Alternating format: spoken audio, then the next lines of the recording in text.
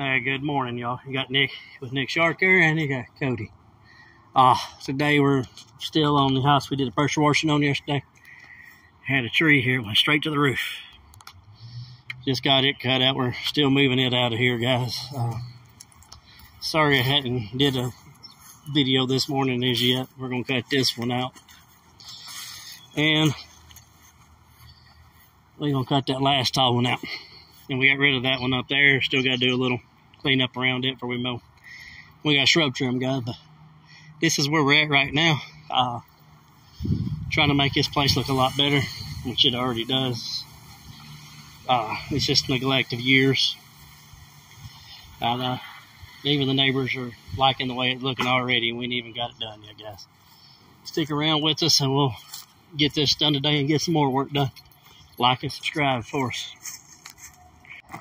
Hey gang, uh, moved a tree right over here, moved a big shrub here. Same on the other side of the house and a big shrub in the front yard. This is the one I was here yesterday.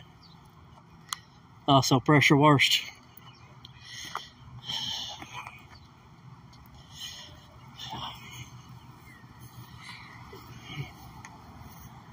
This is what we got, guys. Sorry, I can't talk much. I gotta get to the pharmacy to get an inhaler before I pass out.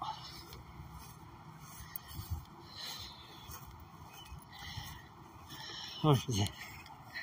Pile we've created for the city. They're gonna love us. But what needed to happen, owner didn't want to pay for to haul it off, so we just did the work and left it between them and the city. All right, guys, let's get get to the next one. All right, guys. We're back at this house y'all seen plenty of times. Uh, we've done a couple since we last posted. We're just trying to get these done. We're going to call it a after this one.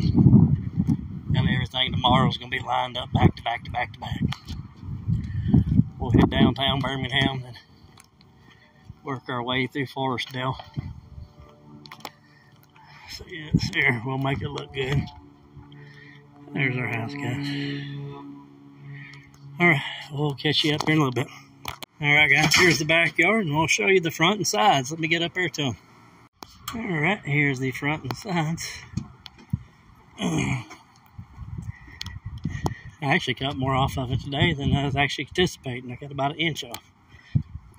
Well, in some areas, half inch in others.